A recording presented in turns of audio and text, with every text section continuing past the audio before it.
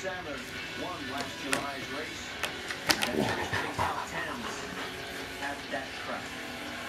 Kyle Busch in second place right now, and it has been uh, an interesting day, to say the least, because he started on. And there, continued to lead until the very first pit stop. I mean, this, this car just was pulling away, DJ. Yeah, they're just phenomenal there, but uh, a little hiccup on the pit stop. Yeah, had a problem